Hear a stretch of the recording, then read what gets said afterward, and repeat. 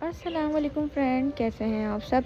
Welcome back to my channel तो जी, मैं उठ जाती हूँ सुबह ही सुबह सात बजे क्योंकि परीक्षा को स्कूल भेजना होता है। ज़्यादातर मदर्स जो स्कूल गोइंग बच्चे होते हैं, उनके साथ जल्दी ही उठती हैं। तो हम सबसे पहले सोचते हैं कि भाई, नाश्ते में क्या दें बच्चे को?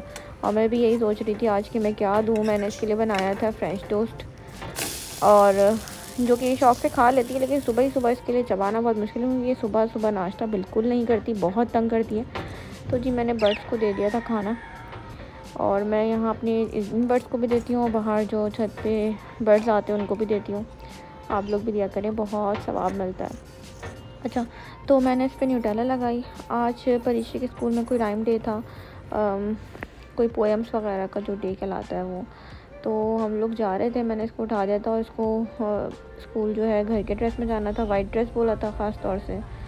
फिर हम दोनों रास्ते में बातें करते रहे और परीक्षा के फरमाइशी प्रोग्राम और परीक्षा सैड मॉमी मैं बर्ड्स का नाम रखूँगी, एक का नाम रखूँगी मार्श मेलो और एक का पता नहीं क्या, मैं तो भूल ही गई हूँ। तो जी, हम इसके स्कूल पहुँच गए थे स्कूल में। परीक्षा ने काफ़ी इन्जॉय करा और हम स्कूल से जल्दी निकल गए क्योंकि परीक्षा की टीचर कहने लगी कि आज वैसे ही फ्राइडे और हाफ़ डे होता है, अब इसको आज जल्दी ले जाएँ। तो ये बहुत सैड थी, कहने लगी मॉमी मुझे तो अभी तक मैंने लंच भी नहीं करा, ये वो ब्रेक इनका जो बीच में लंच टाइम होता है, उसमें ये लोग सारे लंच करते हैं। मैंने इसको सिर्फ़ आज एप्पल दिया था और चॉकलेट दी थी सिर्फ़। वैसे भी ना वो नहीं करती है लंच नहीं करती तो इसलिए मैं इसको कुछ ख़ास नहीं देती हूँ लंच में।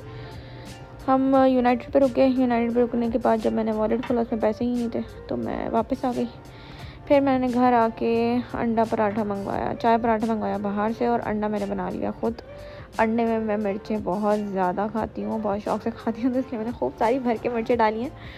तो बस ये अंडा रेडी होगा और मैं और हस्बैंड नाश्ता करेंगे क्योंकि परीक्षे ने एप्पल वगैरह खा लिया था तो परीक्षे को मैं नाश्ता नहीं दूँगी। अंडे को पलटना उतना ही मुश्किल है जितना हाथी को रक्षे में बैठाना बाकी आपको जैसे पता होगा, शायद मैंने बताया था पिछले पिछले व्लॉग में भी कि मैं ऑनलाइन काम करती हूँ। मैंने अपना सुबह सुबह ऑनलाइन काम स्टार्ट कर दिया था। परिंदों का पानी सुबह नहीं रखा था, वो मैंने कहा, चलो भर के रख देती हूँ। और फिर मैंने सोचा पूरा दिन कि यार मैं आज क्या करूँ जो परीक्षा इन्जॉय कर सके।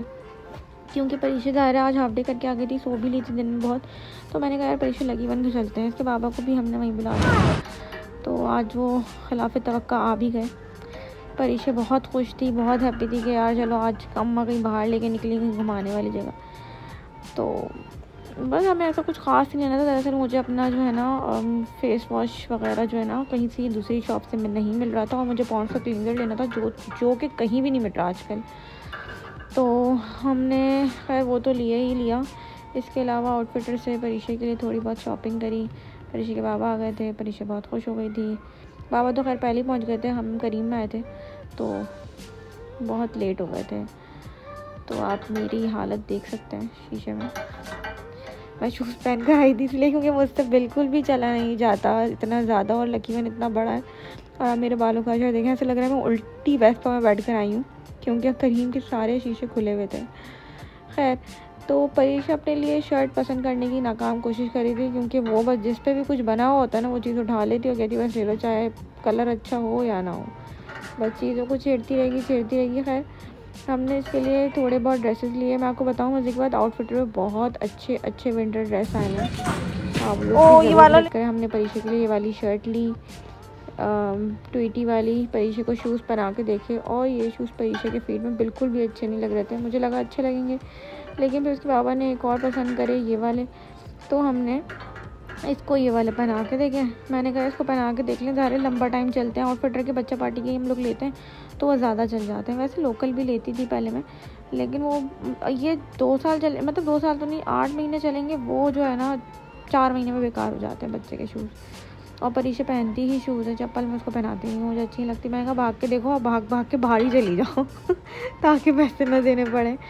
फिर हमने सॉक्स लिए। सो अभी इसके स्कूल में जो है ना फाइव डे फाइव डे जो है ना चिल्ड्रन डे चलेगा, जिसकी वजह से कपड़ों की सख्त ज़रूरत थी। तो मैंने कहा, यार विंटर कपड़े, इसके वजह से ख़ास है नहीं। मैं जो काम करती हूँ ऑनलाइन मेरा उससे दिल भर जाता है कपड़े निकाल निकाल के तो मैं चाह रही थी कोई अच्छे से कोई बाहर से ले लूँ। फिर ये दिल करती रही, बाबा, मुझे कार में बिठा दो, कार में बिठा दो। तो ऊपर कार तो हमें मिली नहीं डबल थी वो। हमने कहा, चलो, नीचे चलते नीचे चल के दिल आते हैं। अभी मुझसे कहने लगी, चीज़ खानी है। बाबा ने इसको बोला, भाई, या तो तुम चीज़ ले लो या कार में बैठ जाओ। शी सेड बाबा, मैं कार में बैठ जाती हूँ, चीज़ तो मुझे खानी नहीं। मैंने कहा आपसे बाद में कार में बैठने के बाद ना चीज़ निकलवा लेगी। फिर ये बहुत खुश हुई बैठ के। ये असल में ना लकीवन जाती ही इसी में बैठने के लिए। बस फिर हम लोग गए हाइपर स्टार कारफोर जो है उसके अंदर, हम लकी वन के अंदर। वहाँ से दो चार चीज़ें ली लोशन लिया और जो मैंने आपको बताया था फेस वॉश मैं नीट्रोजना का फेस वॉश यूज़ करती हूँ, वो लिया। यार, ये परीक्षा सरप्राइज़ रख लेती है और यहाँ पे ये साढ़े चार सौ रुपये का था। क्या यू इमेजिन इतना महँगा। और ऊपर से शॉपर भी ये लोग नहीं देते, कहते बाय करना पड़ेगा शॉपर मेरी तो बहस हो गई हस्बैंड के लगे, नहीं, ले लो। मैंने कहा, नहीं, क्यों ले शॉपर जब वहाँ पर आउटफिटर के शॉपर हैं तो? यार, वैसे तो मैं शॉपिंग कर लेती, लेकिन इस तरह किसी चीज़ में अपने पैसे ज़ाया करके क्या फ़ायदा? खैर, फिर बस हम लोग घर जाने के लिए बैठे और हम लोग घर जाने लगे। यार, आप लोगों को मेरी वीडियो पसंद आई हो तो प्लीज़ सब्सक्राइब कर दीजिएगा ताकि मैं और मोटिवेट हो के कुछ बना सकूँ।